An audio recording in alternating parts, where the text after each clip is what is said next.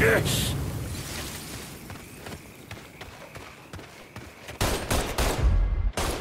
get bloody, motherfucker. Fucker must have took a powder. Sweep. You ain't ever gonna be free from me, boy.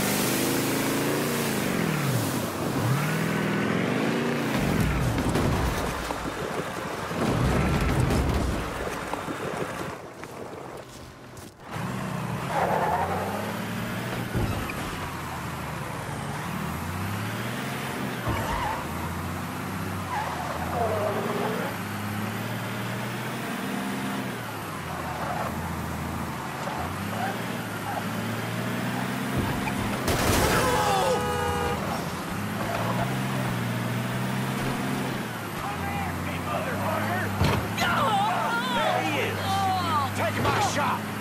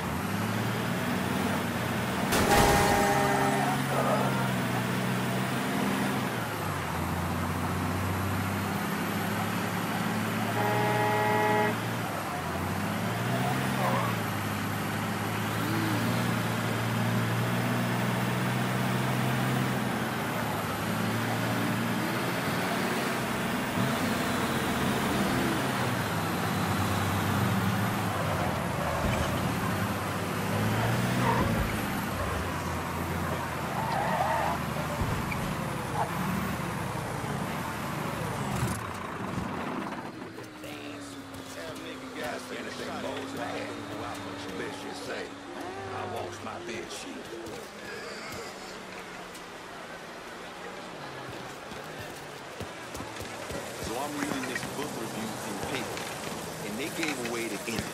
Spoiled the whole thing for me.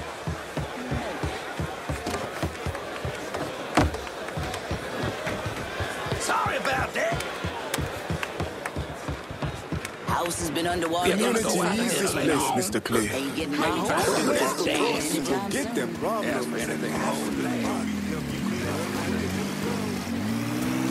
I'm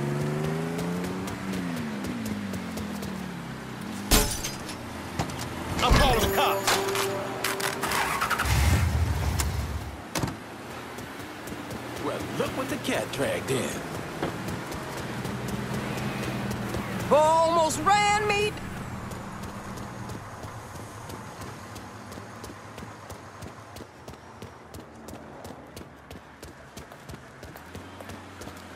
Hold up and We gotta get I out didn't of here. anything. Help an old lady out of here.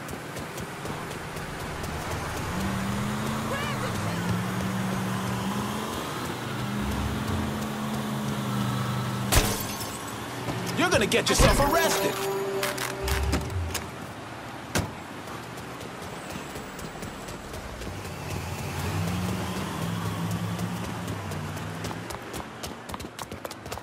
My God, do you see that?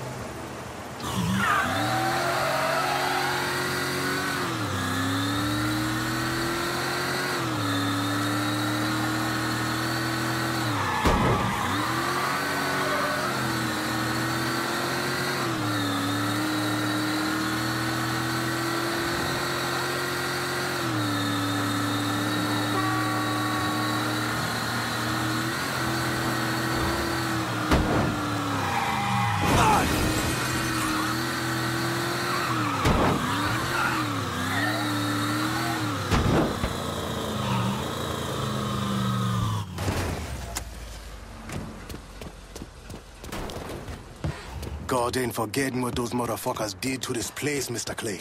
I won't either.